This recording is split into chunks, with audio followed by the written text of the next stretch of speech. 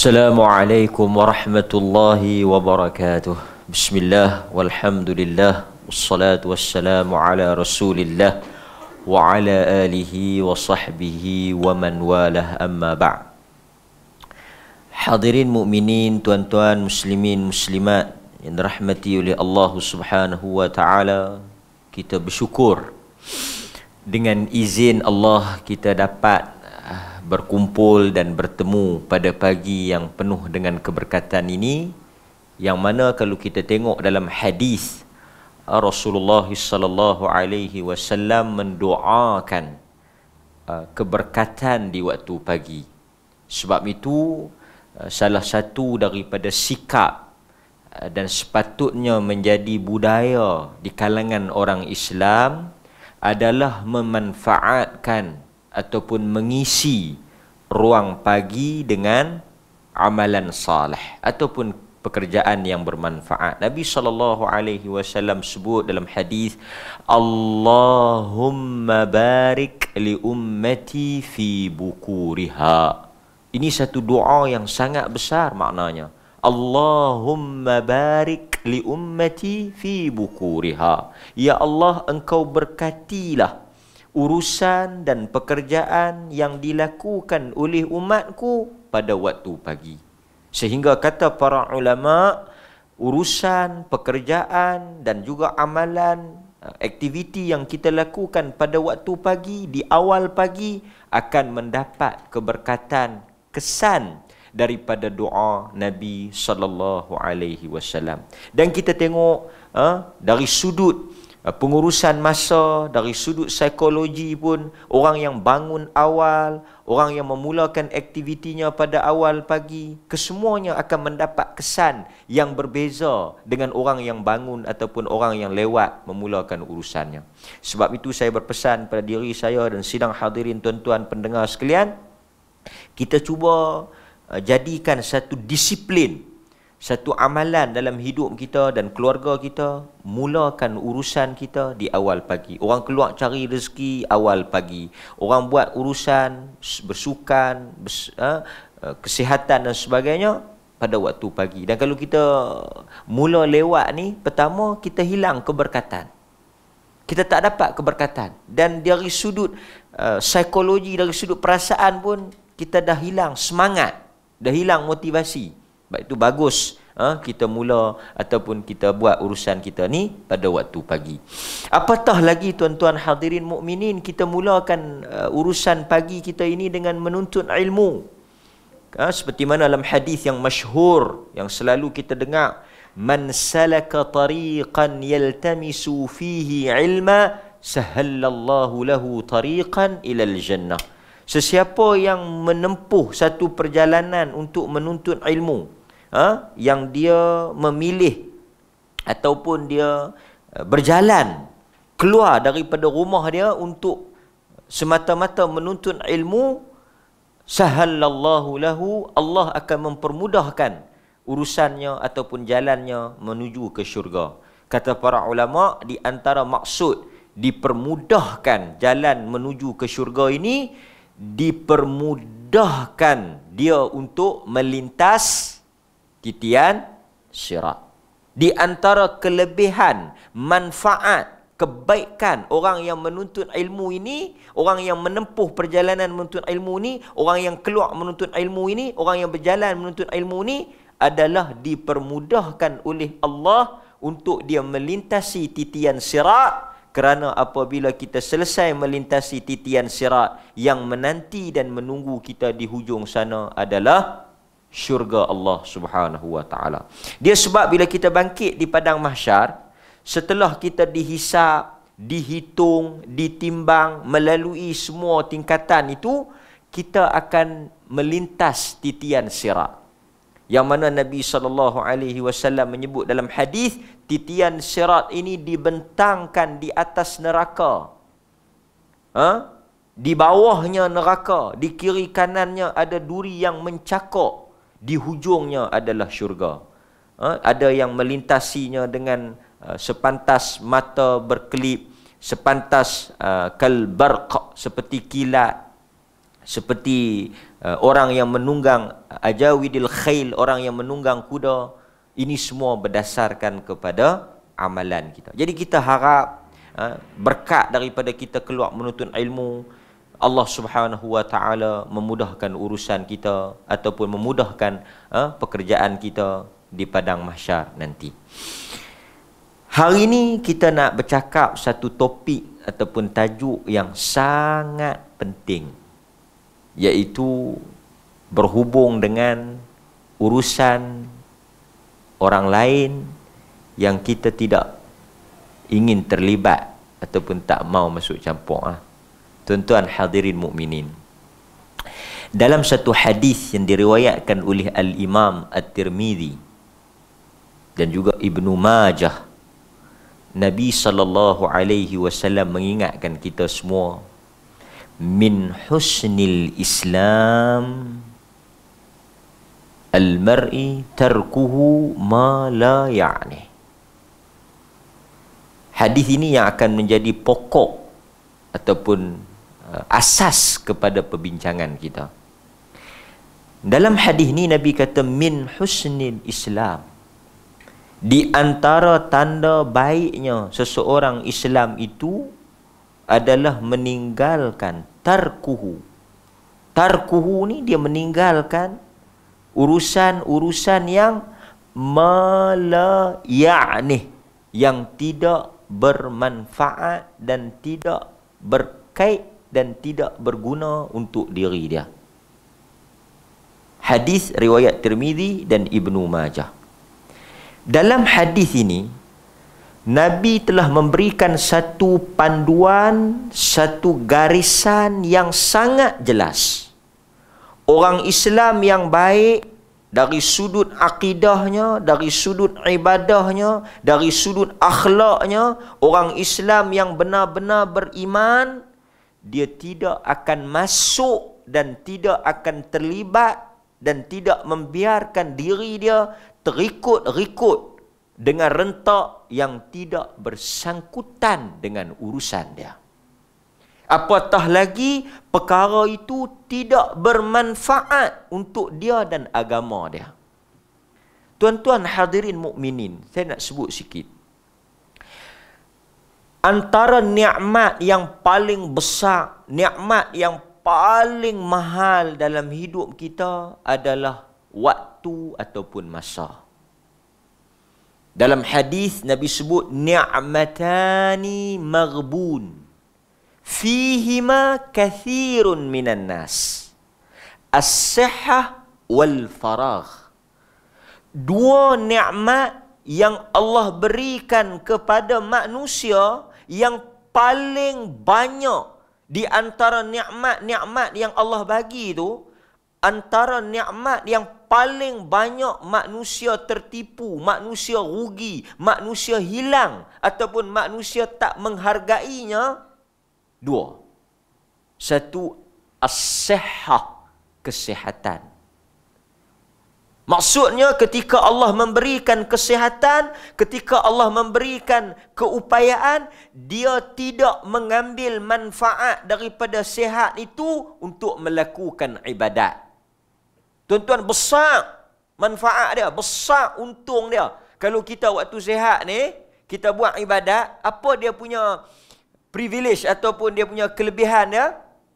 Nabi saw sebut dalam hadis yang lain, sesiapa yang beribadah ketika sehat dan ketika bermukim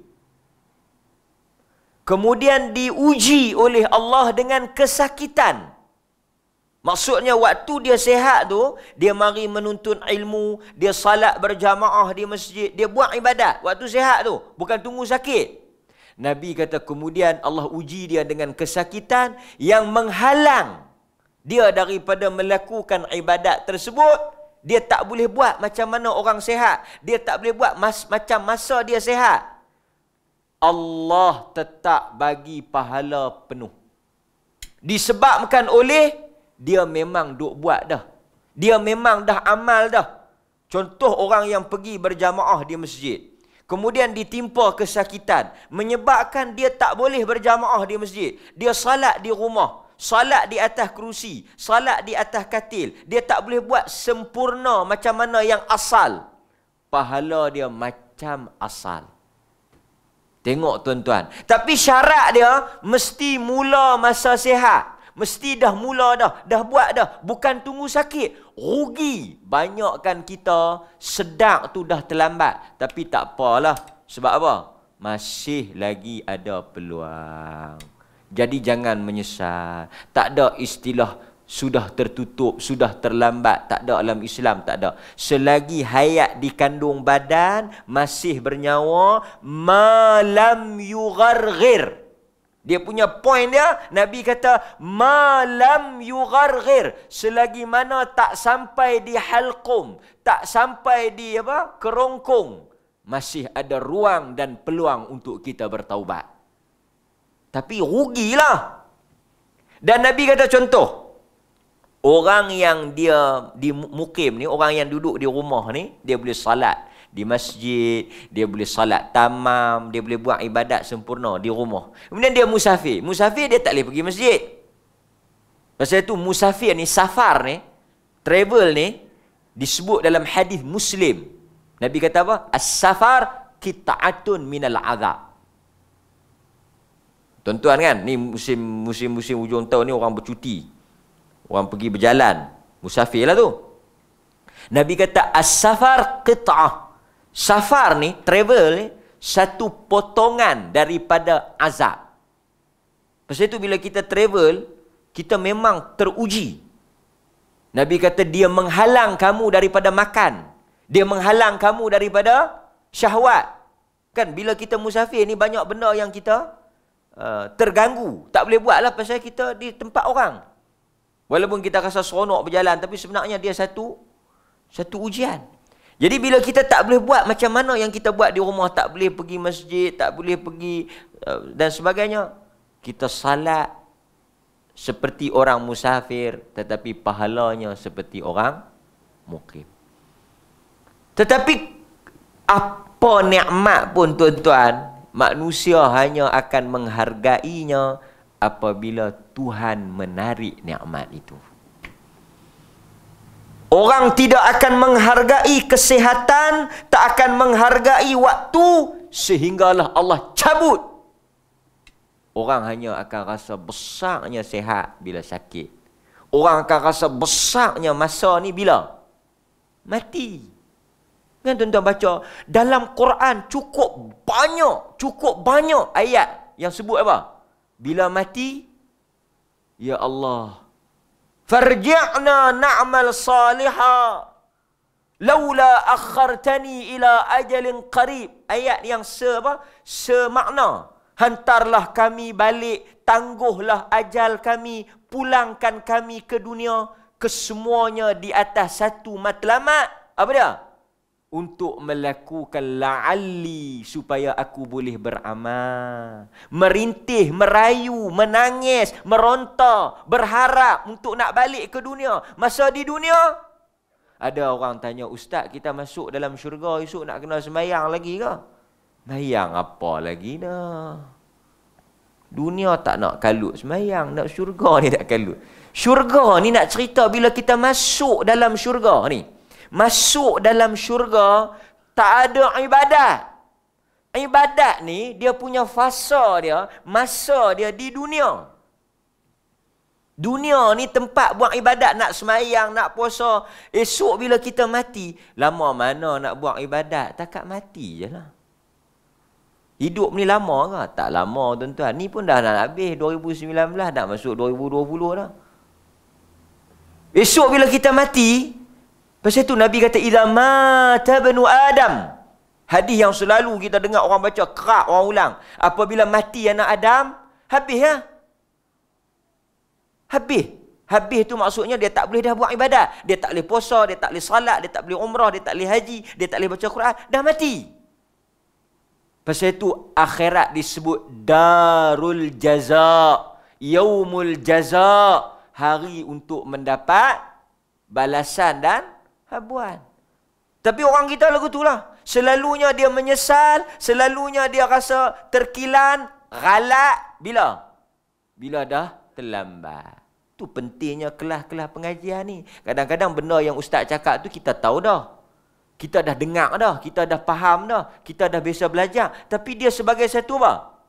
Tazkirah, reminder, teguran, nasihat. Sebagai satu tamparan mungkin kadang-kadang. Kan? Bukan saja untuk yang dengar, yang bercakap. Yang bercakap ni bila dia sebut, dia baca, dia sampaikan, sedikit sebanyak memberi kesan kepada dia, teguran kepada dia. Hadirin mukminin tuan-tuan. Saya menasihatkan diri saya dan kita semua. Ambillah manfaat waktu yang kita ada. Kita mari hari ini kerana kita lapang. Ahad minggu hadapan belum tentu waktu yang sama kita ada kelapangan itu. Nampak? Kalaupun ada kelapangan itu, belum tentu ada pengajian. Salah satu, hari Ahad ni kita lapang dan ada pengajian. Ahad pula antara dua. Mungkin ada pengajian, kita tak lapang. Rugilah. Minggu lepas pun tak mai, minggu ni pun tak mai. Ataupun kita lapang ahad depan, kelas pula tak ada. Rugilah minggu lepas dah ada kelas tak pi. Tuan-tuan, manusia dia selalu menyesal perkara yang sudah berlalu. Maka sebab itu hadirin mukminin di antara baiknya orang Islam ini dia sangat memanfaatkan time dia, waktu dia. Dalam Quran yang paling banyak kita selalu baca Quran sebut wal asr wal fajr wal duha wal lail semua tu apa? Masa time. Time management. Pasal itu orang Islam ni sangat pancul lah. Sangat ni lah kan? Dalam berkaitan dengan masa ni. Dia sangat pasal terhad. Hadirin mukminin ha Allah Subhanahu wa taala sebut dalam hadis yang kita sebut semalam la tadhulu qadama 'abdin yaumal qiyamah. Dalam hadis Abu Barzah Al-Aslami sahabat tu nama Abu Barzah hadis Tirmizi tak akan bergerak bergesil dua kaki anak Adam di hadapan Allah. Tidak berganjak Allah tak lepas seseorang itu sehinggalah ditanya padanya empat perkara wa yus'al an umrihi. Ditanya tentang umur dia. Dan umur kita ni panjang ke tuan-tuan? Yang kita nak bersabuk bersabuk atau bersabuk? Yang kita nak kalut nak sibuk urusan orang ni? Yang kita nak apa tadakhul nak interrupt masuk urusan orang ni panjang ke umur kita? Banyak ke masa kita? Nabi sebut a'maru ummati ma baina 60 ila 70 60 hingga 70 ya Umur umat aku Allah bagi hingga 60 hingga 70 ya. Wa aqalluhum yang dapat subsidi tu, yang dapat tambahan tu, yang dapat kuota lebih tu tak ramai. Pasal itu jarang kita dengar orang mati 80 kan. 90 adalah seorang dua dalam Malaysia ni. Kebanyakannya umur mati 60, 60 mati. Nabi sendiri wafat 63, 64 lebih.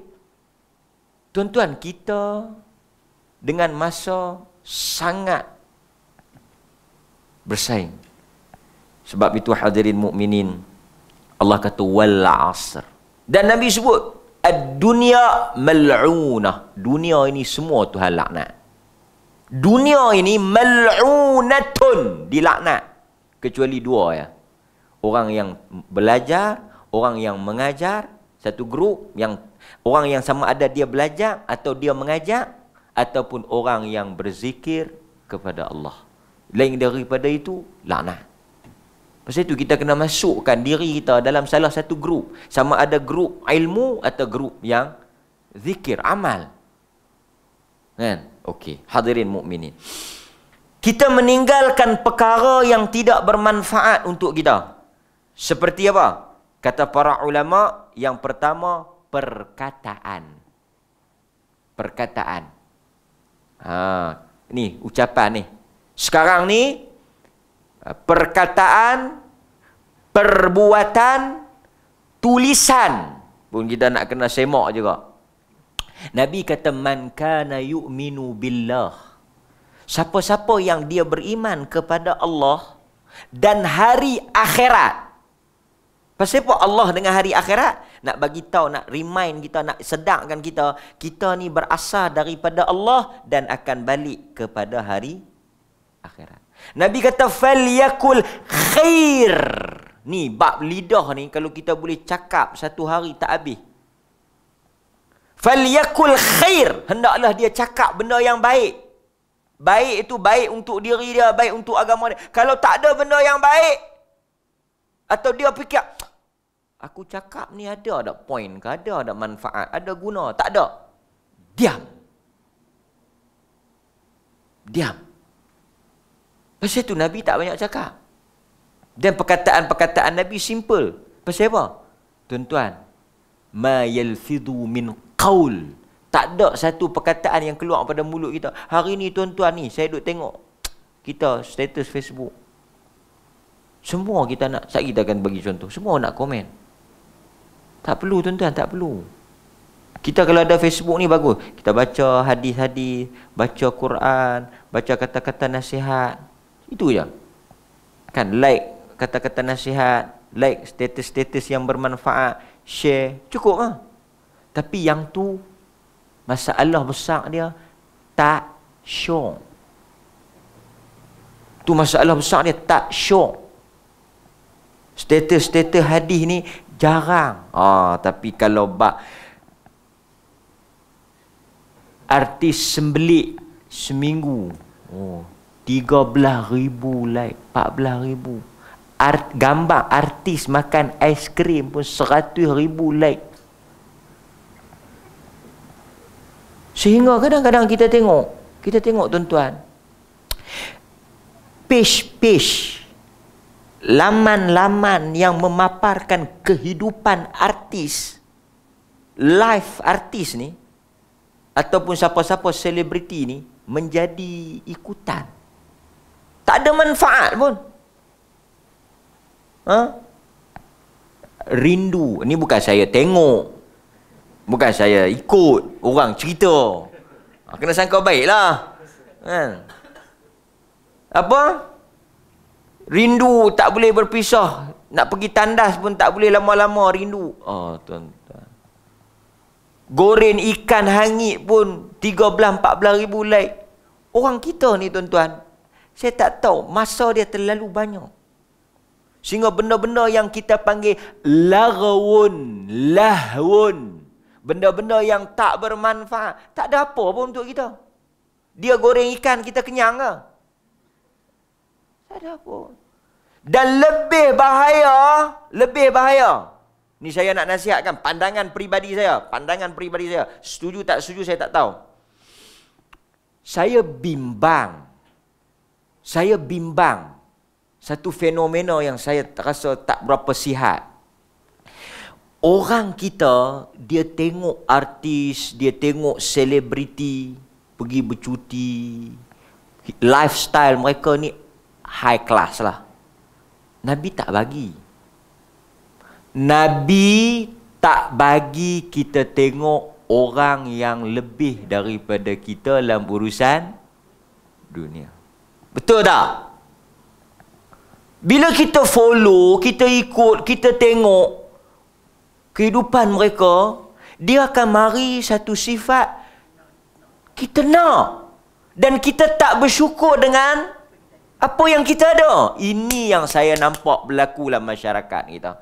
Tengok perkahwinan jutaan ringgit. Tengok percutian artis. Tengok kehidupan artis. Tengok kereta artis. Rumah artis. Yang Dan mereka ni memang... Su- mereka ada sebab expose ni. Ha, for commercial reason kan. Untuk tujuan perniagaan. Mereka ni tak ada isu pun. Ha, kadang-kadang buat isu, create isu, buat drama, buat drama untuk apa? Sebab mereka ni kadang-kadang bergantung pada view, like, nak jual barang, produk. Sampai benda yang tak sepatutnya pun dibuka. Ini pun satu bab kita nak bagi teguran juga. Dan bila Nabi kata, Unzur. Nabi sebut kat sahabat, Unzur man huwa asfala minkum. Tu nasihat Nabi. Kalau kita tak ambil nasihat Nabi, kita nak ambil nasihat siapa? Nasihat rumah tangga. Nasihat tu mana halatah. Nabi kata, unzur, ini nasihat isteri kita, nasihat anak-anak kita, nasihat keluarga kita. Unzur hu, man huwa asfala minkum. Tengok orang yang lebih bawah daripada kamu. Masalahnya orang yang lebih bawah ni kita nak tengok. Tak mana Facebook pun tak ada. Tengok, jangan tengok yang atas. Bila kita tengok, kita pergi bercuti sini. Tengok orang pergi bercuti sana. Uh, uh, Ish, uh, ish. Akhirnya dia akan rasa tak syukur, tak bahagia. Tuan-tuan, bahaya. Dia akan mula apa? Meminta-minta. Ha. Dia akan mula membanding. Banding. Ha, nampak? Betul tak? Luahan saya ni, inilah yang menjadi Masalah yang ini realiti. Pasal itu bila saya cakap, banyak orang setuju.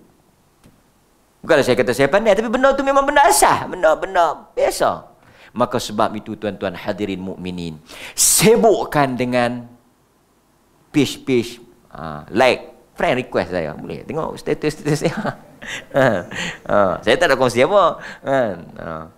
Kita nak cerita ajak anak-anak kita sibuk dengan benda-benda yang bermanfaat berfaedah. Berfaedah untuk kita lah. Kan? Yang dia biarkan dia live dia. Saya kadang-kadang tengok. Media pun sama. Semua nak bagi tahu. Sampai artis rancang anak pun kita nak kena tahu. Mereka bersetuju untuk menangguhkan uh, uh, mendapat anak untuk dua tahun bagi menumpukan kepada karier. Ya Allah. Hang tak beranak 10 tahun pun kami tak ada ada kaitan. Kan? Hadirin mukminin, ini satu perkara. Pertama, kita disuruh ha, lihat tapi kalau kita tengok follow macam contoh saya bukanlah semua contoh uh, selebriti yang berkait dengan kesihatan okeylah uh, doktor-doktor follow page-page doktor cerita kesihatan dia cerita tentang soal education uh, ini boleh follow Kan kadang-kadang bagus saya suka macam uh, tuan-tuan follow uh, Dr. Syekh Muzaffar dia cerita tentang kesihatan, tentang pendidikan. Okey, yang ni okey. Yang terlajak laju, terlajak lambat tu tak payah duk follow lah. Karut. Itu lara, itu mengarut, itu patut dijauhkan, tak ada manfaat, tak ada kebaikan. Tak ada langsung la yanfa', tak ada langsung manfaat. Follow lah orang yang berilmu, yang ada akhlak. Ini semua tuan-tuan dia panggil apa? Ini cari publicity. Dan kita pula duk buang masa, duk habis duit, duk tengok dia kaya, kita habis duit, tak dapat apa. Kan? Dan akhirnya menimbulkan rasa dengki, hasad dan sebagainya. Okey, dapat? Yang pertama, kita kena pilih perkataan yang baik yang kita nak nak cakap. Kadang-kadang orang kita ni, masa dia banyak. Macam kita katakan, artis kahwin dia senak perut. Dia baca-baca ni, artis pergi mahkamah syariah. Yang dia dengan suami dia okey. Tak breakfast pagi tu. Isteri eh, suami dia tanya apa ni? Tak ada tak sarapan ni. Ish, tak lalu nak makan. Pasal apa? Artis ni nak bercerai pula. Artis tu nak bercerai baguslah dia ni. Ukhuwah. Ha? Apa? Artis tu yang nak bercerai, dia tak lalu makan. Artis tu makan siapa tu juga. Kan? Oh, ini satu perkara ah, yang patut kita ambil perhatian. Kedua, dari sudut perbuatan, apa yang bermanfaat, apa yang tidak bermanfaat. Okey tuan-tuan, saya nak ulas sikit. Yang ni pun kita kena adil, insaf. Saya takutlah tuan-tuan saat ni duk dengar hadis-hadis lugu ni dia jadi macam mana? Duk kira nak main majlis ilmu je. Duk kira nak semayang je. Taklah maksud kita macam tu. Saat ni bawa kain baju mai duduk baitu salam pula. Ha. Tengok mari dengan beg roda ni kenapa ni kami ni nak tinggalkan dunia, nak mari beriktikaf menuntut ilmu dan mati di baitu salam ni. Taklah macam tu. Mas, man, manusia ni dia ada time, life.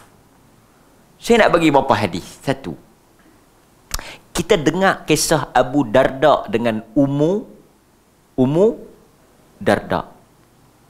Abu Darda disaudarakan oleh Nabi dengan Salman Al-Farisi. Okey, Abu Darda saudara dia Salman. Ni saya nak cerita ni yang yang kita nak kata tidaklah kita kata bermanfaat tu kelas agama, tidaklah bermanfaat tu majlis ilmu, taklah itu sahaja, tak. Bercuti dengan keluarga juga perkara bermanfaat, merapatkan ukhuwah, ha, dapat meng- mengeratkan hubungan suami isteri, apa tu, menggunakan nikmat pada tempatnya, itu juga bermanfaat. Ni nanti ustaz suami saya dah tak mau pergi cuti mana-mana lepas datang kelas pagi tu. Ni semua silap ustaz. Dia ajak pergi masjid saja. Ha, anak nak pergi mana pun dia tak mau dah. Taklah maksud bermanfaat tu bermanfaat tu selagi mana ia tidak jatuh dalam benda yang haram. Saya bagi contoh. Tuan-tuan. Tuan-tuan. Apa dia takrif membazir? Kita kita kata haram membazir. Tak boleh membazir. Saya nak tanya membazir tu apa dia? Tuan-tuan faham apa membazir tu? Kan? Banyak tafsiran. Banyak maksud. Saya saya ingat mudah ya. Saat ni balik daripada kelas, anak ajak makan. Puasa, bazir. Isteri ajak beli barang-barang apa? Membazir. Membazir. Dia tu kedekut tapi membazir. Membazir ni bagi saya secara mudah nak faham ah. Menggunakan harta pada jalan yang haram. Itu membazir. So kalau kita spend pada benda yang tak haram, beli makan, bercuti, beli buku, apa untuk perbelanjaan kehidupan kita, itu masih dalam ruang lingkup yang halal Allah dibenar Allah benarkan. So itu bagi saya. Sebab saya nak sebutnya Abu Darda dia ni salat puasa full time. Bukan part time, full time. Sehingga Ummu Darda isteri dia rasa dia ni dah overdose. Lebih dah. Dia pergi mengadu kat Salman. Tuan-tuan, isteri mengadu suami semayang banyak. Ha, jangan main-main. Kita selalu mai jumpa ustaz, ni tolong tengok ustaz sampai tak mau nak semayang. Sampai payah semayang. Anak-anak tolong buat ubat ustaz, ustaz bagi rajin semayang. Yang kita duk dapat kes yang susah semayang. Kes Abu Darda ni terlalu semayang sangat pula. kan tak penuh lagi kan. Dia kata Salman pergi tengok saudara kau tu. Sampai tak ambil bab anak isteri. Maksudnya dia tak tak ada nilah duk sembahyang. Salman pergi. Bila Salman pergi, Salman tengok dia Salman tegur dia. Salman kata kat dia. Dia ajak Salman ajak dia makan dia puasa. Salman kata bukalah. Uh, nak malam Salman suruh nak ajak dia tidur. Dia apa? Dia kata dia nak semayang. Salman kata tidur. Sagi aku gerak. Pasal itu tuan-tuan, dalam agama tak boleh melampau. Tiga orang pergi jumpa rumah Nabi kan. Tanya ibadat Nabi. Isteri Nabi pun cerita. Terus mereka naik semangat. Oh, naik semangat ni jaga. Ha? Seorang nak semayang tak mau lena. Bukan nak lena tak mau semayang. Tuan-tuan dengar bergelok ha? Ha? Nak semayang, tak mau lena. Tak mau lena langsung nak semayang. Kalau kita, baguslah. Dia ni mungkin masuk syurga Firdaus. Syurga Firdaus apa? Silap ibu lah masuk neraka tu. Jangan memang. Seorang tu nak puasa, tak nak makan. Tuan-tuan ni dah sarapan ke? Tak. Kami tak ada sarapan-sarapan ni. Kami semua akhirat. Dunia ni semua dunia. Dunia ni. Ha, orang ajak makan ni semua dunia-dunia. Tak. Dunia. Nanti kita tengok perkataan Salman. Nabi kata inni akhsyakum watqakum lillah. Aku ni orang yang paling takut tapi aku tak melampau. Iyakum wal ghulu. Nabi kata jaga jangan melampau. Salat tidur. Pasal itu Nabi Salman kata ke Abu Darda, "Wa inna li nafsika 'alaika haqqa." Salman, setiap perkara ada hak dia. Ni kita kena clear bab ni diri kita ada hak yang kita kena tunaikan. Maksudnya dia kena ada rehat, makan yang baik. Ini hak diri. Tak boleh cederakan, tak boleh buat sesuatu yang menyakitkan diri kita. Haram. La darar wala dirar. Tak boleh memudaratkan orang lain dan tak boleh memudaratkan diri kita. Wa inna li zawjika. Untuk isteri kita ada hak dia. Ada keperluan dia, ada nafkah dia, ada tanggungan dia yang kita kena bagi. Wa inna li rabbika alayka haqqa. Kepada Tuhan pun ada bahagian dia. Maksudnya apa kata Salman? Buatlah berdasarkan hak masing-masing. Maksudnya keperluan isteri, tanggungjawab kepada Tuhan. Kita orang beriman ni ada time dia. Sahabat dia duduk dengan Nabi. Mereka dengar kuliah Nabi. Dengar ceramah Nabi. Mereka takut. Mereka rasa beriman. Balik dengan keluarga. Bergembira lah. Takkan tuan-tuan balik dengan keluarga pun. Astagfirullah. Anak gelap. Astagfirullah. Ni semua ahli neraka. Gelap mematikan hati. Tak ingat ke mati ke? No lah. Tuan-tuan pergi ke pasar. Tuan-tuan pergi shopping komplek. Takkan? Astagfirullah. Tuan-tuan. Orang buat lawak gelak lah. Takkan orang buat lawak teriak. Ikut time lah. Ikut masa lah. Kan? Gelak sepanjang masa pun gila. Orang cerita neraka pun. Ha ha ha ha ha. Eh, cerita neraka ni. Maksudnya, sahabat rasa, eh, kita ni macam mana ni? Macam tak, macam munafik lah. Macam macam tak, tak ni lah kan. Main-main lah. Dia bercerita kat Nabi. Nabi kata, manusia ini ada time dia. Hidup ini sa'ah. Sa'ah. Ada waktu dia. Ada waktu Nabi bergelak, ada waktu Nabi bergurau dengan isteri dia, ada waktu Nabi serius, ada waktu Nabi main dengan cucu dia. Maksudnya demikian Allah jadikan fitrah manusia. Islam itu komplit. Ada time, ada waktu, ada ketikanya. Bukanlah sepanjang masa kita seronok, bukanlah sepanjang masa kita serius. No, ada ketika dia. Tapi kalau daripada awal duk gelak sampai ke sudah, itu mengarut juga. Ini pasal itu kita nak kena faham. Manfaat tu. Manfaat itu maksudnya sesuatu yang baik untuk kita. Tuan-tuan hadirin mukminin, ha, Nabi sallallahu alaihi wasallam juga sebut dalam riwayat yang lain, ha, di antara tanda baiknya, riwayat Ahmad, di antara tanda baiknya seorang Islam itu qillatul kalam. Ha, apa dia? Yaitu sedikit bicara. Arab ada sebut man kasura kalam kasura khata. Wa man kathura khata kathura zunub. Wa man kathura zunub fannaru aula bi. Ni bukan hadis. Ni kata-kata kata-kata Arab. Bagus ya kata-kata ni. Betul lah kata man kathura kalam kathura khata. Siapa yang banyak cakap dia akan banyak salah. Pasal itu jangan banyak bercakap. Kerana bila kita banyak bercakap kita akan terlajak cakap, terlanjur cakap, tersilap cakap, tercakap. Bahaya sekali tercakap lah. Sebab itu lidah mesti apa, otak mesti laju daripada lidah. Jangan lidah laju daripada otak. Nanti menyesal tak sudah. Kan? Siapa yang banyak cakap dia akan banyak silap. Siapa yang banyak silap dia akan banyak dosa. Siapa yang banyak dosa neraka lebih layak untuk dia. Pasal itu kita kena beware. Kan? Lah ni tulisan pasal itu Facebook mungkin saya ingat buat Facebook pun dah mula belajar hadis. Pasal apa? Dulu tak boleh delete, sekarang dah boleh delete. Dulu bila kita send, kita tersilap, kita tak boleh delete. Kan? Ya, lah bila bila kita tersilap kita boleh delete. Bagus juga tuan-tuan. Pasal apa? Ha, ini manfaat besar untuk para lelaki. Fahamlah no? Ha. Okey. no? Okey. Dalam hadis ha, yang diriwayatkan oleh Al-Baihaqi, Allah mencintai tiga perkara dan Allah benci tiga perkara. Allah suka sedikit makan, sedikit tidur dan sedikit bicara. Allah benci banyak bicara, banyak makan dan banyak tidur. Bukan tak boleh tidur langsung, banyak tidur. Apa benda pun dalam hidup ni dia tak boleh melam melampau. Makan pun tak boleh. Syaitan dia akan menjahanamkan manusia melalui dua jalan. Jaga-jaga. Ha? Syaitan akan menjahanamkan manusia two way. Satu, dia akan menghasut supaya kita melampau. Ataupun satu lagi, dia manusia ni dia akan rosak kerana dua sebab ya. Melampau terlebih had dengan tak buat langsung. Semayang lebih rakaat pun jahanam, tak semayang langsung pun jahanam. Satu orang dia semayang subuh lima rakaat. Orang tegur dia, kenapa semayang lima rakaat?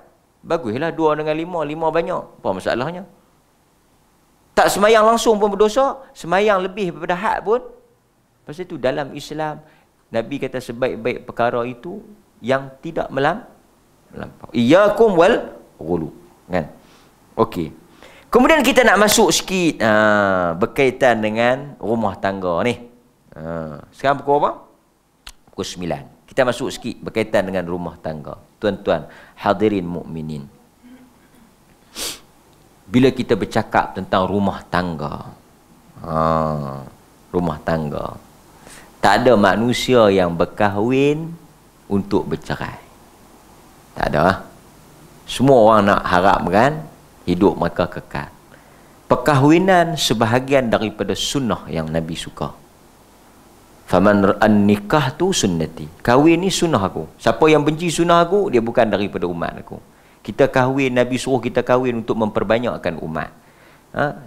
Salah satu daripada perkara yang besar dalam Islam ni adalah perkahwin. Perkahwin ni untuk jaga agama, jaga maruah, jaga kehormatan dan mengelakkan kita daripada jatuh dalam benda yang haram.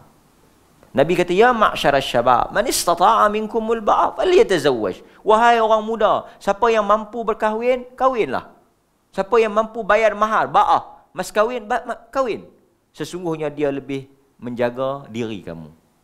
Semua tuan-tuan hadirin mukminin, saya nak sebut sikit. dalam Islam kita selalu saya sebut secara umum lah secara, umum berkahwin seorang atau berkahwin ramai dia bukanlah benda yang besar benda yang besar tu maksudnya dia tak menentukan segala-galanya kalau kita kata berkahwin dua ni masalah Berkahwin dua ni menyebabkan perceraian. Berkahwin dua ni menyebabkan...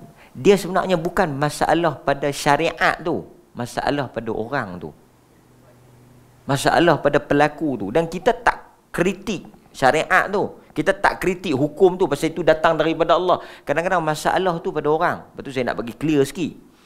Kalau kita kata kahwin dua ini menyebabkan masalah. Adakah kita nak tanya orang yang kahwin satu tak ada masalah. Bukan kata kahwin satu tak ada masalah. Orang tak kahwin pun ada masalah. Tuan-tuan, masalah bukan letak pada satu dua. Ada orang kadang-kadang hidup dia anak ramai. Tapi dia boleh manage. Ada manusia dia seorang diri ya. Tapi kita tengok tak ter fail. Dia kata, hang ni anak berapa? Aku tengok sampai tak ketahuan serabut dia. Aku tak ada anak, tak ada bini.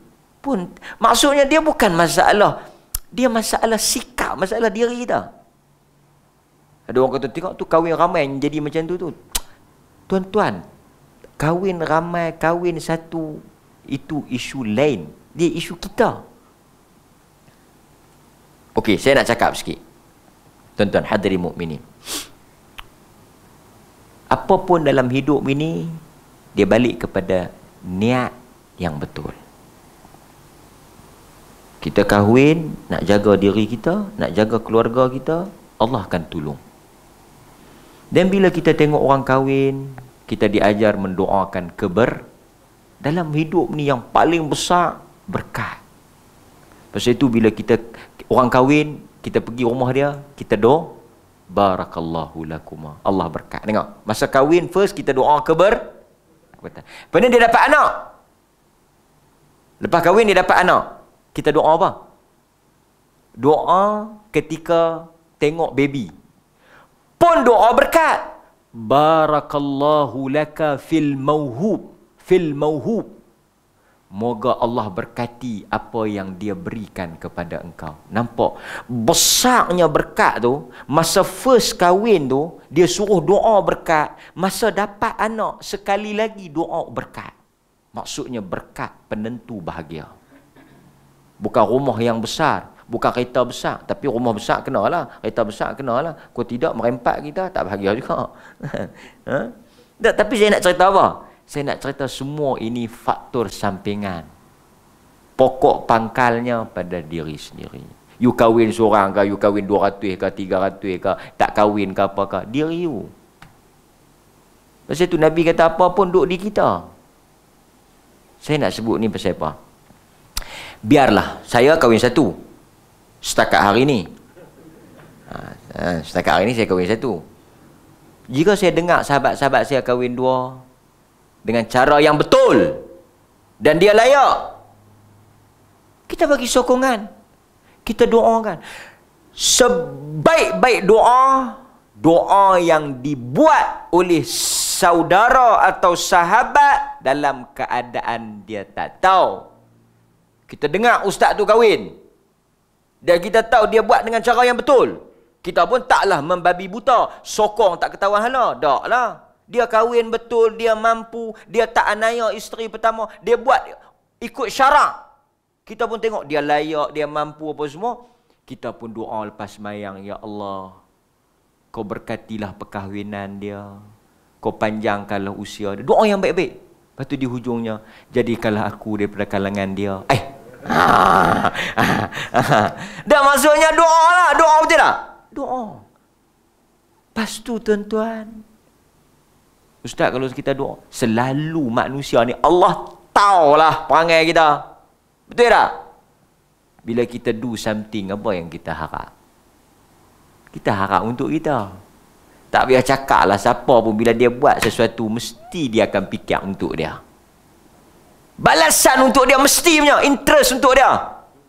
Mesti punya tak payah sembang lah ustaz ke tok syekh ke mufti ke apa. Ni aku buat ni apa dia yang manfaat? Apa dia apa interest untuk aku, advantage untuk aku, privilege untuk aku apa dia? Mesti kita fikir Tuhan dah tahu dah tabiat perangai kita. Dia pun dah siap sedia dah. Siapa yang doa kat kawan dia macam tu, Allah hantar satu malaikat muwakkal muwakkil tuan-tuan naik kereta kan tuan-tuan tengok dalam Facebook kan tengok apa sedih anak dia sakit dia susah. Kan macam-macam cerita kita tengok kita ada satu perasaan kita tak boleh tolong kita pun tak mampu. Tapi kita doa ya Allah murahkan rezeki. On the spot dia bukan dirancang. Bukan kita karang ke dah siap dah apa ke dah. Dia benda yang benda yang hadir dalam satu tiba-tiba. Kita tengok satu orang kita jalan-jalan dalam pekan dalam bandar kita tengok di sini. Ya Allah tolong dia. On the spot malaikat mai Kawan tu dapat doa kita. Kita ni bukan siapa-siapa. Tuhan saja yang tahu diri kita yang sebenar. Betapa buruk dan hinanya kita. Dia dapat doa kita. Kita dapat doa malaikat. Malaikat kata, Walaka. Walahu. Bagi engkau atau baginya. Malaikat doa. Walahu misl. Bagi dia apa yang dia doa untuk kawan. Tak mau ke doa malaikat? Maksudnya untuk kita, for us, untuk bah bahagian kita, doa malaikat. Ya Allah bagilah anak dia berjaya. Malaikat kata, seperti mana dia doa untuk anak kawan tu berjaya, aku doa untuk dia dan anak dia berjaya. Allah. Dia dapat doa kita, kita dapat doa malaikat. Kita yang lagi untung. Doa malaikat confirm, doa kita tak tentu. So doa yang baik. Sangka yang baik. Bila dengar kawan tu kahwin, sangka yang nak sangka ni pun satu bab juga. Dalam Islam dia ada bab van, bab sangka. Selalu kita akan sangka apa? Saya tahu sikit bab sangka ni. Ha, tuan-tuan. Bukan kata tuan-tuan ni. Saya pun sama. Payah kita nak sangka baik. Prinsip yang paling mudah ni, apa pun tuan-tuan sangkalah baik. Biar silap tak apa biar tersilap dalam bersangka baik. Jangan betul dalam bersangka buruk. Ha. Biar salah. Kita nampak satu benda. Tapi tu pun kenalah tengok. Kan? Nanti orang curi rumah jiran kita. Apa dia tu? Mungkin pindah rumah kot. Tapi dia pun pakai topeng. Mungkin panas kot tapi jiran kita tak cakap pun nak pindah. Mungkin dia tak nak riak aku. Ah, yang ni terlebih. Payah nak cakap. Ha? Nampak? Okey? Ha. Boleh tuan? Ha? Sekejap tuan. Uh, saya nak hantar satu maklumat kecemasan ni. Okey. Kita salah dalam sangka baik, berdosa tak? Berdosa tak? Tak. Pasal perkara yang baik. Tapi kalau kita betul dalam sangka buruk, betul, jangan dengar tekat tu. Jangan berhenti full stop. Betul dalam sangka buruk. Berdosa. Sebab dalam Islam dia suruh kita jauhi sangkaan buruk. Wajtanibu ba'dadhan. So bila dengar ustaz tu kahwin, galak. Lepas tu, tengok. Cuba kita sangka macam ni. Mungkin ustaz tu nak menyelamatkan wanita tu. Ah tak ada, tak ada lah tu. Menyelamatkan apa? Ingat dia Iron Man ke? Agent Ali ke? Kita payah tau. Kita susah. Pasal apa? Ah. Hati kita ni dia bersaluran dengan darah kita ni dalam darah ni ada syaitan ni darah ni pasal tu ulama kata ada rasukan pasal ni ni, ni cerita hantu ni cerita hantu ni dia seronok sikit tuan-tuan nabi sebut satu hari kita tengok dalam satu hadis saya nak kongsi dengan tuan-tuan ni bahaya ni yang kita duduk sangka buruk ni okey satu hari Rasulullah sallallahu alaihi wasallam beriktikaf di masjid dan dia pergi rumah isteri dia Safiyah. Safiyah, ha? Ni cerita sangka ni, cerita sangka. Kemudian dia berjalan dengan Safiyah. Nabi berjalan dengan Safiyah. Berselisih dengan dua orang sahabat. Okey? Dia pun nampak Nabi jalan dengan satu perempuan. Nabi panggil dia, "Mari." Pendekkan cerita, panggil, "Mari." Ha? Nabi kata, "Innaha Safiyah bintu Huyai." Safiyah ni Yahudi yang Nabi kahwin. Masuk Islam lah, Safiyah binti Huyai Al-Akhta' Panjang cerita. Nabi kata, Innaha Safiyah. Panggil dua orang tadi ni, bagi tahu ni Safiyah, isteri aku. Dia berkata apa? Tuan-tuan. Subhanallah ya Rasulullah. Dia berkata Subhanallah ya Rasulullah. Tak kalah kami nak sangka buruk. Tak kalah kami nak persepsi. Masa tu tak ada Facebook. Kalau tidak, dia nampak ni Rasulullah dengan siapa pula ni buat tanda soal titik titik titik titik kan kita titik titik titik titik kan ha. kadang-kadang saya tak sebelum habis hari ni saya pelik orang kita dia tengok video kita tapi dia duk komen tak elok tapi dia tengok juga ni masalah mental ni kita kalau tak suka kita tengok Kadang-kadang kita ni tahu apa? Ha, ni dengar ni. Penyakit ni. Kita marah, marah, marah. Ha, bukan saya kata. Betul tak? Dia benci-benci rindu. Kena-kena-kena ustaz tu. Yang kita peliknya, hang tak suka. Tak payah tengok. Tapi, sampai habis. Orang yang suka pun tak tengok habis. Yang tak suka tengok habis. Ha ni tentang. Dia nak tengok apa yang kita salah lalas sekali dari mata jatuh ke hati. Tak saya nak cerita itu yalah. Baguslah kan. Dia tengok dia komen, dia memeriahkan suasana. ha, kita syukur juga kan. Cuma Nabi kata inna hasafiyya subhanallah ya Rasulullah. Takkan kami nak sangka buruk. Takkanlah kami nak. Ha ni tuan-tuan, persepsi is very dangerous. Nabi kata bukan masalah hampa nak sangka buruk. Mungkin hampa tak sangka buruk. Mungkin hampa tak akan nak buat cerita. Tak elok pasal aku Nabi. Tapi poin dia apa? Ha, Nabi kata, Inna syaitan yajri minal insan majarad dam. Majarad dam. Syaitan itu dia mengalir, berada dalam saluran darah ni. Maksudnya syaitan tu ada dalam diri kita. dan dia yang akan mencetuskan menimbulkan bisikan orang duk tanya bisikan setan ni lagu mana? Orang kita ni lah masalah duk tengok sangat cerita hantu ni. Cerita apa hantu? Filem apa? Saya tak tengok. Saya, saya sebut kata saya tengok pula. Rasukan ablasa.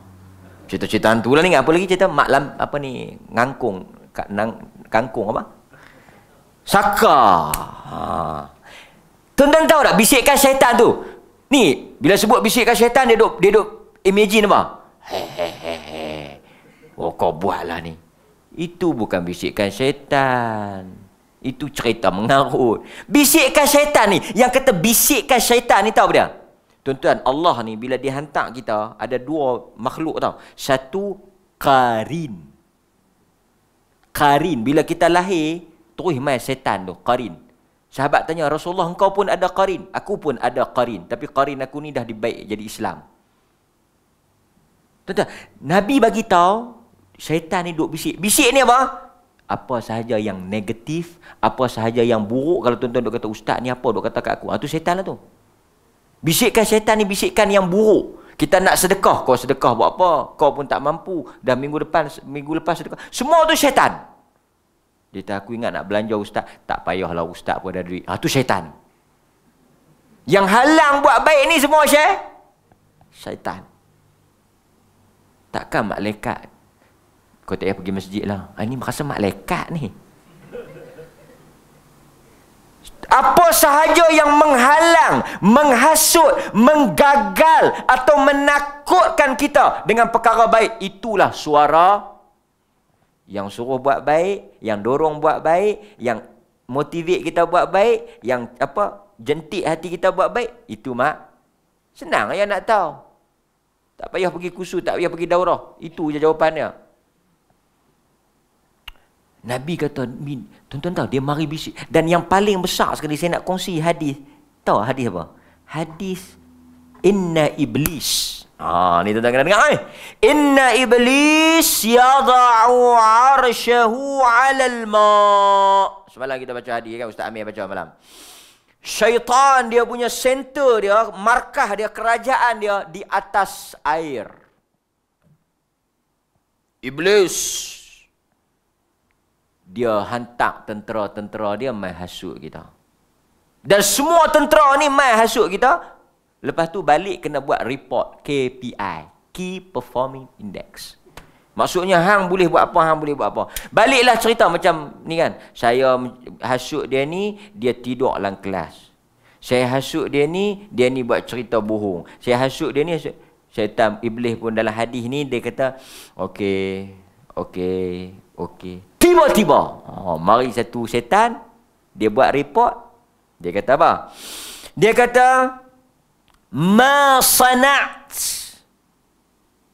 Thumma yaji. Setan tanya, iblis tanya, apa ma sanat? Apa kau dah buat? Dia kata, Thumma yaji'u ahaduhum fayaqul ma taraktuhu. Aku pergi pada satu suami isteri, aku hasut, aku buat, aku goda, aku cucuk, aku pusin mai pusin bi sampai apa? Ma taraktu. Sebelum aku tinggalkan depa tu tu dia punya gigih tu. Sebelum ma tarak aku tak tinggalkan mereka. Hatta faraqtu bainahu wa baina imraati. Sampai depa bercerai. Dia hasut dia cucuk sampai bercerai Iblis yang dengar report laporan tu, pembentangan tu, iblis kata apa? Ni'ma. Ha, dia kata ni'ma anta. Sebaik-baik setan, maknanya yang paling the best, good job, well done. Hang lah. Yang lain semua karut dan lain semua lekeh ni. Apa ni curi kasut, curi ayam, ha, curi tabung masjid. Ni yang bagus ni. Ha, kan? Dia tu hasut curi tabung masjid. Ni hasut kan? Ini hasut sampai bercerai. Ni'mah anta. The best. Good example. Tuan-tuan tengok. Dia punya target yang paling. Sehingga ber... Maka sebab itu hadirin. Sesiapa yang pergi ke arah nak duk menghancurkan rumah tangga orang tu. Dia termasuk daripada tim Syaitan lah. Kadang-kadang syaitan ni dia dia bukan dia bukan mai aku syaitan. Dia mai dia tak kata dia syaitan. Contoh ayat syaitan. Contoh ayat syaitan ni, saya bagi contoh.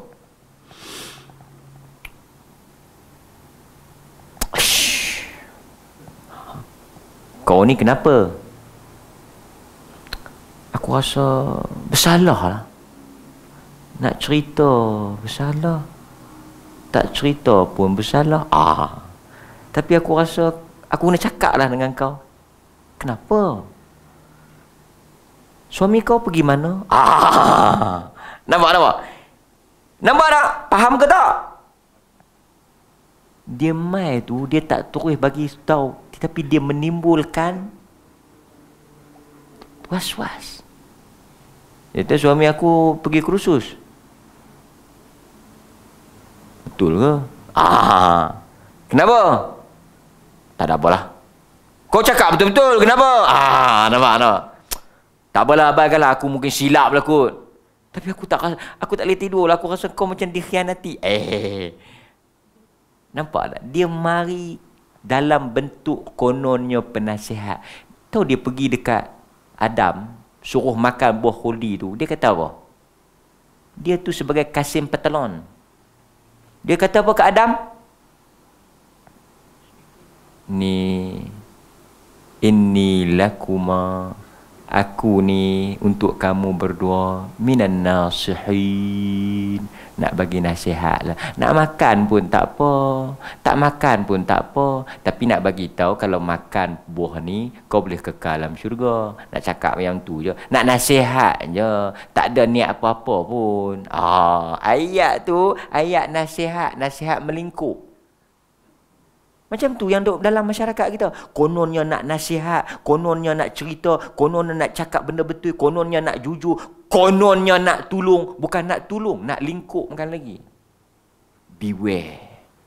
Syaitan sangat halus dia punya talbis dia.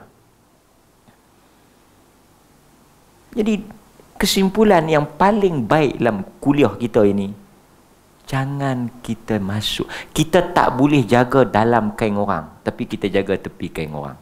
Kalau kita tengok benda mungkar, kita tegur. Yang ada manfaat, yang betul, yang salah, kita cakap. Tapi kalau tak ada manfaat, dia kahwin dua, dia kahwin tiga isteri, apa semua. Itu urusan dia, bukan urusan kita. Abaikan. Jangan sibukkan dengan aib orang. Aib kita sendiri pun banyak. Kita sibuk rumah tangga orang, rumah tinggal anak orang, anak kita. Kita banyak lagi benda dalam hidup nak buat. Kalau kita nampak aib kawan tu, adakah kita tak ada aib? Sekurang-kurangnya dia ada manfaat untuk agama. Dia ada kebaikan untuk agama. Kita siapa? Kita kena tanya kita tu siapa? Apa yang kita sumbang untuk agama?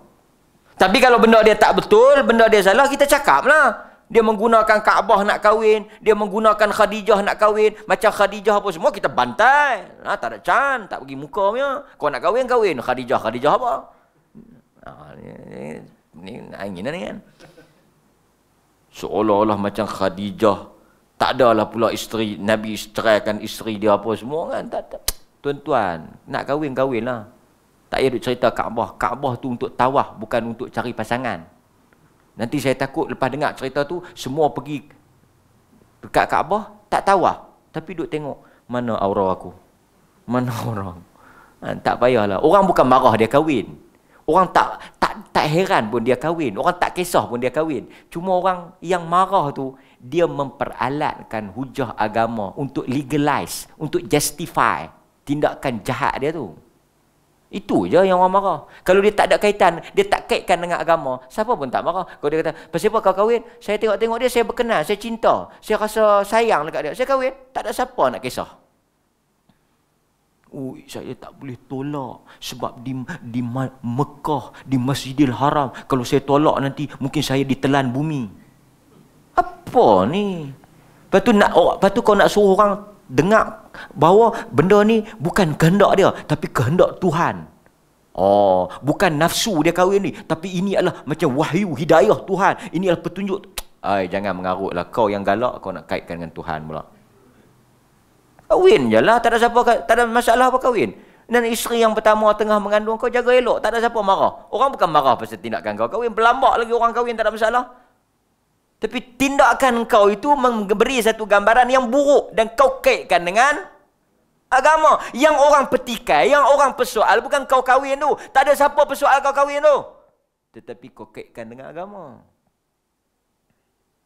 Kahwin lah. Jangan kait, tindakan kita jangan kait dengan agama. Jangan jadikan agama untuk rubber stamp. Untuk nak halalkan tindakan jahat kita. Jangan. Itu yang persoal. Itu yang orang marah. Lain tak ada masalah. Kan?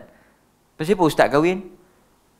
Saya kahwin, saya ada keinginan. Saya tengok dia, saya mampu. Saya kahwin. Ya. Ustaz saya kahwin. Saya tiga malam bermimpi Jibril datang mengatakan saya kena kahwin. Saya tak nak. Tapi ini arahan daripada langit. Oh. Ingat ayah pin je kerajaan langit. Ustaz pun langit. Tak payah duduk langit-langit lah. Kau kahwin je lah. Faham tak tuan-tuan? Saya nak bagi tahu itu poin saya. Dan kita pun jangan doakan kehancuran rumah tangga. Jangan sibuk aib orang. Kita bercakap tentang orang tu kan. Kadang-kadang kita orang bercakap tentang fulan, alan. Adakah kita sempurna? Kita aib, kita ada dosa, kita ada silap, kita ada kita sahaja yang tahu. Pasal itu tuan-tuan, kalau Allah tak tutup aib kita, tak ada ruang kita boleh tunjuk muka kita. Siapa diri kita yang sebenar, hakikat kita sebenar, hanya Tuhan saja yang tahu. Kita keluar di hadapan masyarakat dengan penampilan, dengan image yang baik. Dan orang tengok, orang rasa kita baik. Kita hukum zahir tapi hakikat yang sebenar. Nabi satu orang pergi berjihad semua orang kata dia syahid. Nabi seorang yang kata dia ahli neraka. Ya Rasulullah dia mati syahid. Nabi kata dia ahli neraka. Sebab apa? Kau pergi tengok dia ada curi sesuatu tuan-tuan siapa yang masuk dalam neraka tiga orang baca Quran banyak sedekah dengan orang hadis muslim tiga orang yang masuk neraka Orang yang baca Quran. Tuan-tuan baca tak?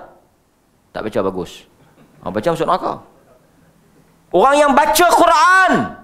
Orang yang bersadaqah. Orang berjihad. Hadis Muslim. Allah panggil. Kenapa kau baca Quran? Tengok. Kita tengok orang baca Quran. Subhanallah. Alhamdulillah. Dan kita tak soal niat orang. Niat dia dengan Tuhan. Ni cerita ni Tuhan yang tanya. Bukan kita tanya. Dia kata aku baca Quran kerana-Mu ya Allah. Kazabta kau bohong. Kau bercakap bohong kau baca Quran liuqala lahu qari supaya orang panggil kau qari supaya orang puji kau supaya orang kata kau sedap supaya orang kata kau hebat Tuhan campak dalam neraka macam mana muka duduk bawah kaki duduk atas heret tahu tuan-tuan jahanam amalan kita kena rosak niat kita. Pasal itu saya kata bila kita nak bercakap tentang diri orang tengok diri kita. Banyak aib kita banyak lemah. Ni nasihat bukan untuk tuan-tuan nasihat untuk saya ni. Saya tahu kita betapa buruk betapa teruk betapa kotornya diri kita. Pasal itu bila kita bercakap bukan kita bercakap untuk orang kita bercakap untuk kita. Maka sebab itu hadirin mukminin siapa yang kahwin itu rezeki urusan takdir Allah. Tak berimankah dengan qada dan qadar kita doakan yang baik dan jangan jadikan dia masalah untuk kita banyak lagi perkara yang kita nak bincang dan yang terakhir tuan-tuan, ha? saya nak sebut sikit ya. Hmm? Nabi sallallahu alaihi wasallam bersabda, "Iyyakum wadh-dhann, fa inna dhann akdzabul hadith." ولا تحسسوا ولا تجسسوا ولا تحاسدوا ولا تدابروا ولا تباغضوا وكونوا عباد الله إخوانا Nabi kata iyyakum wadhdhan hati-hatilah kamu dengan sangkaan buruk. Fa inna dhann sesungguhnya sangkaan ni andaian ni andaian sangkaan ni bukan benda betul. Kita sangka kita rasa kita fikir. Nabi kata akdzabul hadis, perkataan yang paling bohong sekali apa dia? Sangka. Sangkaan ni semuanya benda yang persepsi, benda yang kita tak tahu hujung pangkai, kita duk buat andaian. Nabi kata itulah sebesar-besar pembohong. Nabi kata wala tahassasu Janganlah kamu mencari-cari. Ni Nabi kata wala tahassasu. Ni perkataan Nabi. Ni mulut Nabi, lidah Nabi, Nabi yang abang ni. Wala tahassasu. Jangan cari silap orang, jangan cari salah orang, jangan cari buruk orang. Jangan jadi lalat. Lalat ni hurung taik. Jadilah madu. Jadilah madu pula dah. Apa ni? Minum kopi sikit. Jadilah madu. Apa ni ustaz ni? Hai. Tuan-tuan, saya ceramah sejam lebih. Kalau tuan-tuan nak cari buruk, boleh tak? Bel belu belunggu, belambak. Kesalahan pertama, menjawab mesej ketika kuliah. Kesalahan kedua, ha? apa lagi? Boleh? Saya ingat, kalau kita buat, okey tuan-tuan, senaraikan kelemahan dan kesalahan saya. Saya ingat tuan-tuan kan. Kenapa? Tambah kertas dua keping? Tak cukup. Boleh. Kita nak cari salah tuan-tuan. Kalau tuan-tuan nak cari salah saya, nak cari buruk saya, nak cari lemah saya masa saya ceramah ni atau semalam, belungguk, bekarang orang kata. Berjela boleh tulis. Tapi for what? Apa manfaat dia untuk apa? Kebaikan banyak, manfaat banyak. Bukan saya kata saya bagus. Siapa-siapa ya sama ya. Saya buat contoh saya sebab tak nak kacau orang. Isteri kita, Nabi kata apa? Kalau kau tak setuju dengan satu benda, jangan cerai. Tu Nabi pesan tu. Kalau kau tak setuju dengan dia, kau tak tak suka satu benda, mungkin dia ni jenis pelupa, bini aku ni aku tak tahulah. Eh, kerja duk lupa aku. Ish. Eh.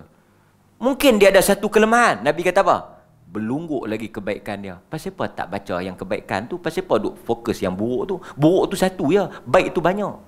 30 tahun dia kahwin dengan kita, takkan tak ada silap? Tuan-tuan kalau kahwin 30 tahun, 40 tahun, isteri tak ada silap, tuan-tuan pergi cek di hospital. Saya takut malaikat saya yang tak ada silap ni siapa? Malaikat. Dia kata, Ustaz, Alhamdulillah isteri saya tak pernah silap walaupun sekali. Hei, betul kau ni? Eh, silap undang dia silap. Manusia. Nabi kata, pasal itu, isteri pun sama, suami pun sama. Nabi kata, ingatlah kebaikan yang lain. Wala tahassasu. Wala tajassasu. Dan jangan mengintai-ngintai. Tajassus. Wala tahasadu. Jangan dengki. Dengki ni apa? Tak boleh tengok orang nikmat lain lebih dia bahagia, Alhamdulillah. Kita doa. Tuan-tuan, baca macam ni ya. Kalau Tuhan bagi kat dia lebih tang tu, mesti ada kurang tang lain. Kalau Tuhan bagi kita kurang tang ni, mesti ada lebih tang lain. Baca macam tu ya. Dia tu ustaz putih, tapi gemuk. Dia tu ustaz hitam, tapi kurus. Dia tu ustaz kaya, tapi kedekut. Dia ni ustaz miskin, tapi kelebihan. Ada ke? Tak ada perfect lah. Tuan-tuan kalau nak kahwin, nak cari orang sempurna, tak kahwin sampai ke mati. Pasal tu tuan-tuan, saya kata cantik ni abstrak betul tak? Dia kata putih, cantik. Di India orang kahwin, dia hitam pun. Ada sahabat saya, dia kata hitam-hitam ni, dia dia kerja di di tempat orang hitam lah. Dia kata hitam ni minggu pertama ya, minggu kedua putih. Faham tak? Tuan-tuan bila pergi di satu tempat, tuan-tuan tengok orang hitam, minggu pertama hitam, hitam. Tuan-tuan duduk lama ni, tak hitam sangat putih juga orang yang kata hitam ni hitam pun okey hitam mana ha nah persepsi ya. Setengah kita pergi kenuri kahwin kan bulan bulan-bulan hujung cuti ni banyak orang kahwin. Pun buat dosa. Dah orang panggil percuma makan free. Duk buat duk jadi pengkritik bebas pula. Boleh cari elok lagi ni. Nanti ni ya. yang perempuan tu okey dah yang laki tu tak apa nak elok tak sesuai Ya Allah, siapa yang kahwin ni? You ke I? Siapa yang nak hidup dengan dia? You ke I? Lepas tu dia boleh kata, macam mana boleh macam mana boleh kahwin dengan dia? Ya Allah. Eh. Ada orang dia mata dia tak sama, mata kita sama tak? Tuan-tuan ni baju kita pun hari ni tak sama. Saya baju macam ni, tuan-tuan baju macam tu. Cita rasa manusia ada cita rasa. Cita rasa Tuhan buat tak sama. Kalau sama tuan-tuan demam kita. Ada orang dia suka kereta macam ni, ada orang dia suka kereta macam tu. Allah buat, makan pun tak sama. Ada orang suka makan ni, anak kita lima orang pun tak sama salah satu. Ada Tuan-tuan, Allah jadikan cantik lah. Janganlah kita mengintai-intai dan berdengki. Wala tadabaru dan janganlah kamu saling memberi belakang. Maksudnya janganlah kamu ber, bersombong. Wala tabaradu dan jangan saling benci membenci. Jadilah kamu saudara yang ber hamba Allah yang bersaudara. Mudah-mudahan Allah rahmat kita insya-Allah, Allah berkat kita insya-Allah, Allah tolonglah kita insya-Allah. Dan saya doakan keluarga saya, anak-anak saya, isteri saya menjadi anak-anak isteri yang sal yang saleh, anak-anak yang beriman. Tuan-tuan saya doakan keluarga tuan-tuan semua beriman insya-Allah. Allah bahagiakan kita, Allah murahkan rezeki, Allah pelihara kita. Yang paling baik Allah bagi kebahagiaan dunia dan Allah kumpul kita di syurga. Tak ada kebahagiaan yang paling besar melainkan kita semua masuk syurga dan Allah permudah urusan kita insya-Allah. Wassallallahu ala nabiyyina Muhammad wa ala alihi wa sahbihi wasallam. Walhamdulillahirabbil alamin. Wassalamualaikum warahmatullahi wabarakatuh.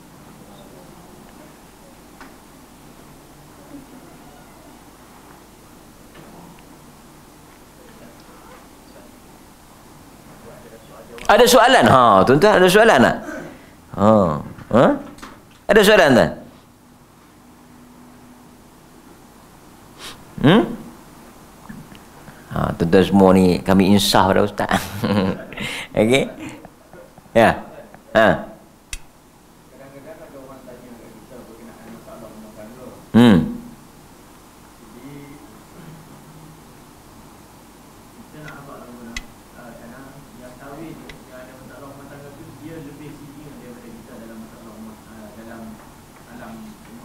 Hmm. Hmm.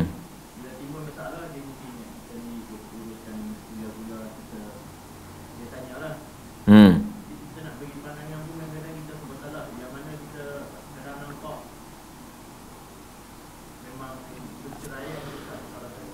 Jalan dia. Okey.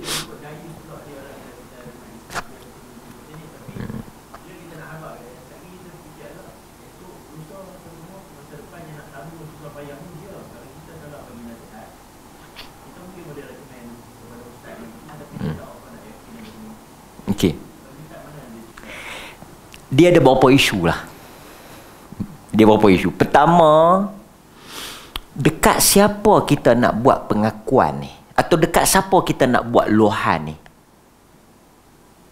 Pertama, kita bukan boleh luah sebarangan. Tak boleh kita melakukan ribah. Mengumpat. Tak kiralah atas apa alasan pun melainkan dalam keadaan yang boleh seperti apa? Untuk fatwa ataupun untuk tujuan keselamatan. Ataupun untuk tujuan contoh orang mari tanya nabi ya rasulullah ada tiga orang masuk minta nak kahwin dengan saya? Tolong bagi ulasan. Ha, kita ni kena cakap benda yang orang yang tuan-tuan orang yang diminta nasihat dia amanah Nabi kata. Orang yang diminta nasihat ni dia ada amanah. Amanah ni maksud apa? Dia bertanggungjawab. Faham tak? Tuan-tuan jangan kata, hmm, tak nak cakap lah, tak baik kan. Tak, tak nak kan ni. Semua baguslah. Bagus. Cakap. Cakap. Tak faham? Apa cakap? Okey. Maksud dia apa? Nabi kata, kalau kau kahwin dengan nama ni sekian-sekian. Nabi sebut lah. Kalau kau kahwin dengan si A ni, nama dia sekian. Dia ni kedekut. Oh, kedekut. Mengumpatlah tu. Nabi kata dia ni kedekut. Kalau kau kahwin dengan yang kedua ni, dia ni bengis baran. Nanti kau kena pukul ya. Kau kahwin yang nombor tiga. Nampak? Nabi kutuk, komen, kritik, mengumpat kerana ada maslahah, ada tujuan. Jadi kalau orang mari tanya kita, Ustaz, saya nak kahwin dengan kawan ni macam mana? Kau tak payah kahwin lah dengan dia. Kalau kau nak terjun bangunan, kau kahwin. Oh, bagi terus nasihat lah. Cakap. Okey.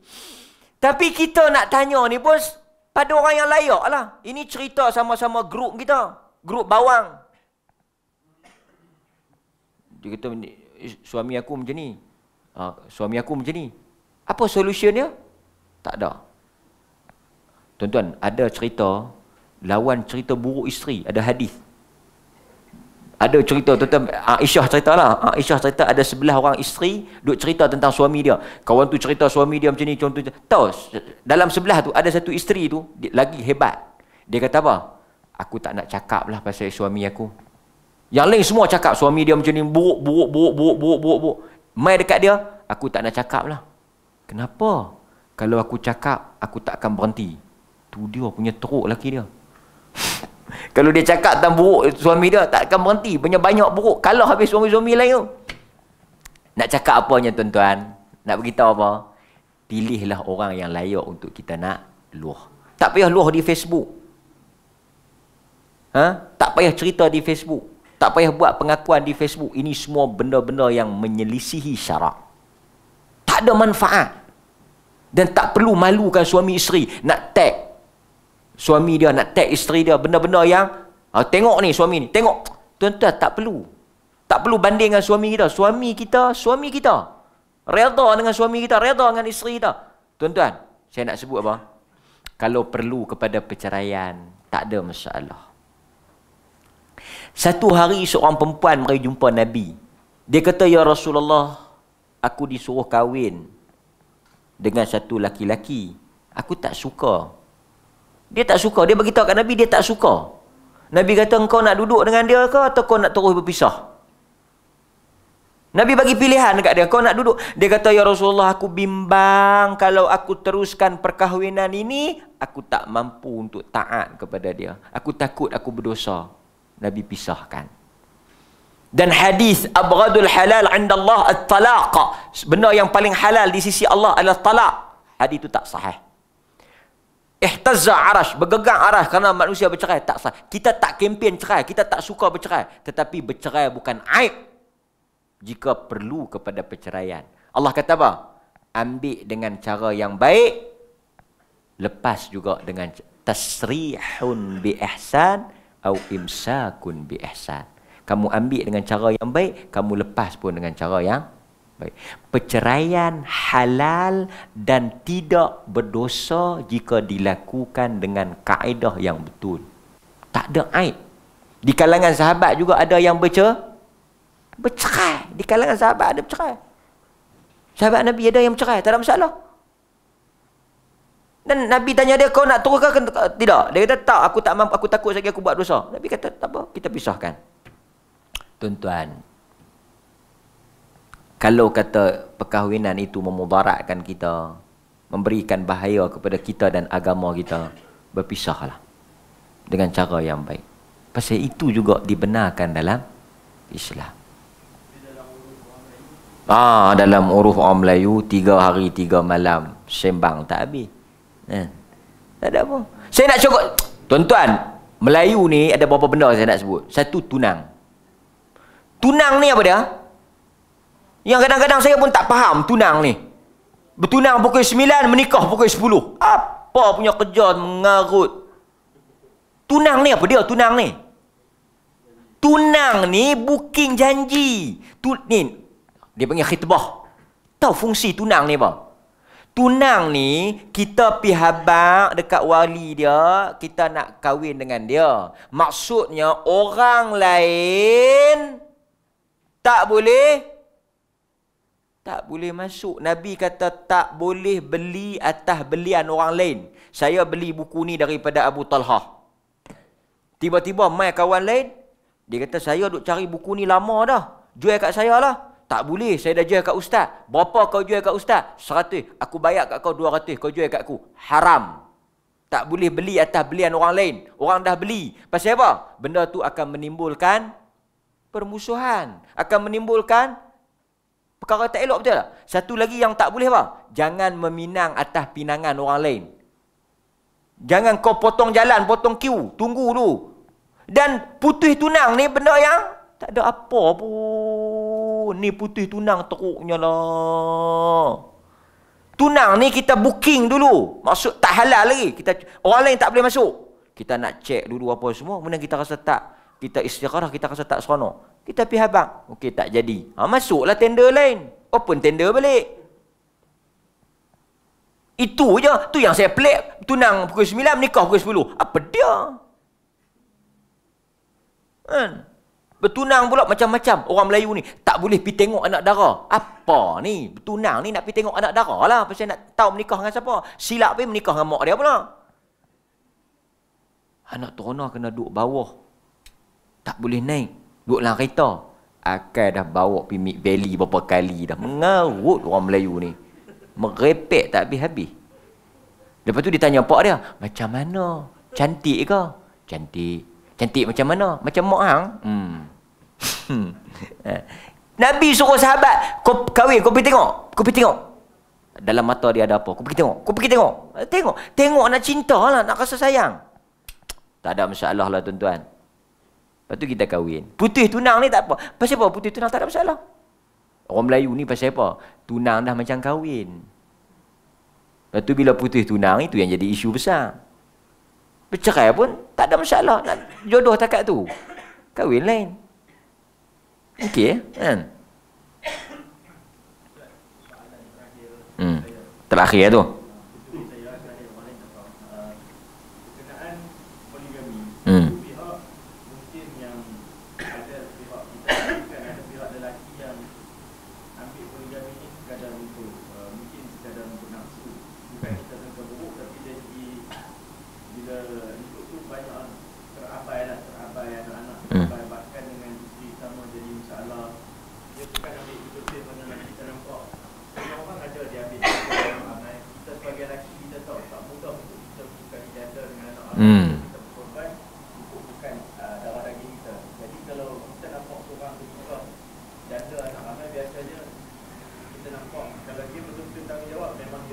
Hmm. Nikah janda kan nak darah?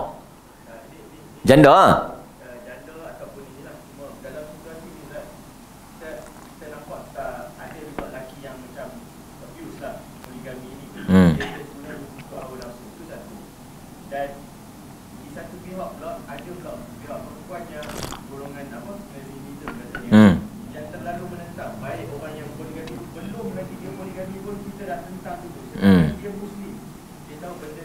Halal. Hmm.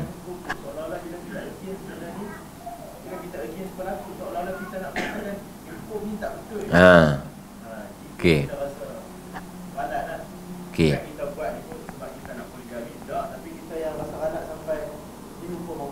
Oh. Jaga lisan tahan lisan. Pertama tuan-tuan ada ada satu lagi. Kita nak kahwin nak darah kan kahwin janda. Jabir bin Abdullah. Dia nak tolong. Ayah dia mati syahid dalam perang Uhud. First person yang mati.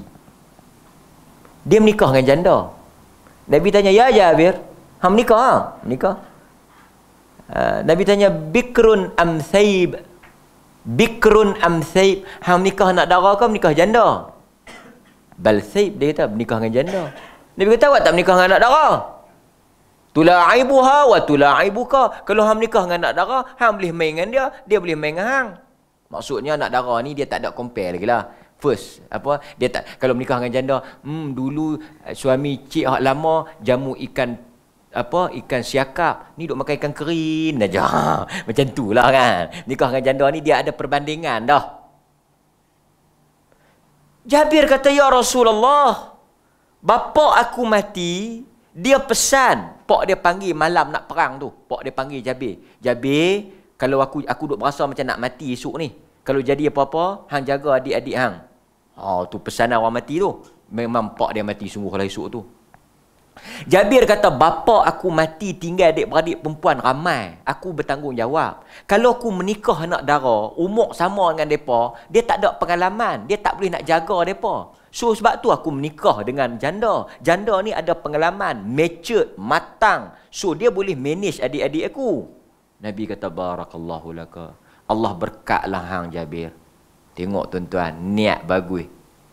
So ulama bincang janda kan nak darah. Oh kacau lah. Tuan-tuan jangan sebut tiga kali janda kan nak darah. Saya nak balik jauh ni. Ha? Janda? Bikrun amsaib. Macam Nabi tanya. Bikrun amsaib. Janda kan nak darah. Ulama kata asal pada nikah itu bikrun anak darah. Asalnya pasal Nabi kata dekat dia, pasal bang tak menikah anak darah? Artinya first choice anak darah. Tapi jika ada another reason macam Jabir. Ada orang tuan-tuan armalah dia panggil. Janda ni armalah. Siapa yang menikah dengan janda seperti orang yang berjihad di jalan Allah. Ha.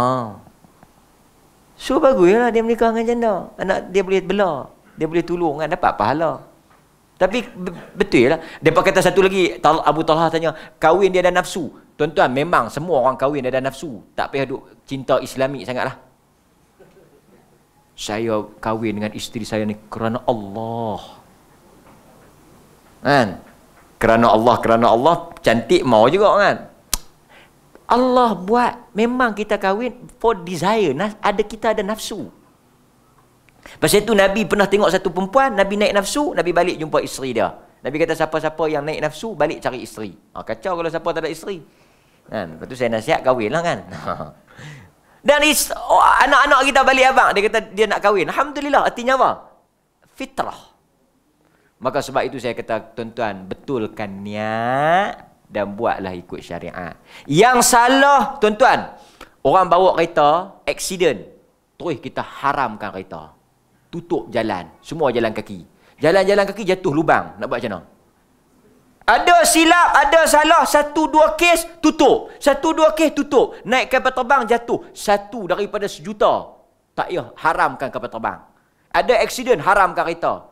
Duduk di rumah semua. Jangan keluar pergi mana. Kalau keluar, mati. Haram. Tuan-tuan, kita tak boleh haram dengan satu dua sebab. Tengok satu dua orang bercerai kat poligami, satu dua orang kes yang tak elok, haramkan poligami. Banyak benda tuan-tuan kita kalau tak ada benda kita boleh buat. Pasal apa? Tak ada benda yang sempurna. Ya. Okey? Cukuplah setakat itu. Saya mohon maaf jika ada yang menyentuh pribadi, menyinggung perasaan. Tidak ada kena mengena sama ada di Baitul Salam, di Baitul Rahman, di Baitul Ihsan ke Baitul apa ke. Kita semuanya nak menuju kepada Tuhan yang sama Allah Azza wa Jal. Mudah-mudahan ada manfaatnya untuk kita. Wallahu a'lam. Sallallahu ala nabiyyina muhammad wa ala alihi washabbihi wasallam walhamdulillahi rabbil alamin. Wassalamu alaikum warahmatullahi wabarakatuh